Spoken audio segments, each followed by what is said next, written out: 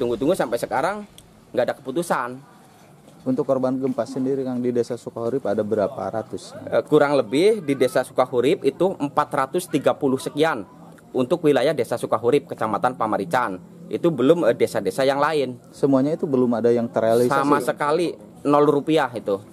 Terus sekarang yang punya rumah seperti ini Kang ini kan ini rumahnya kondisi hancur. Yang punya rumah ke mana sekarang? Ini yang punya rumah sementara ini tinggal di Jakarta.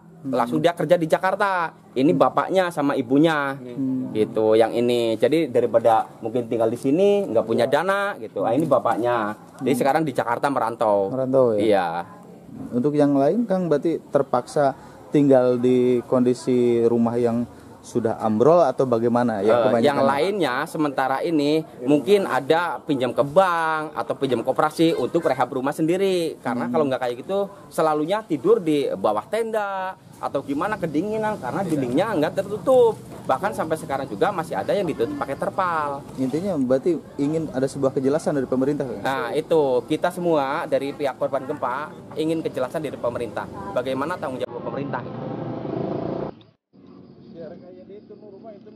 belakang ayah parah kan?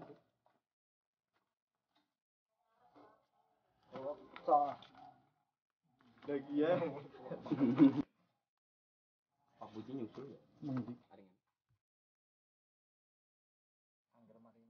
Si puing-puingnya sih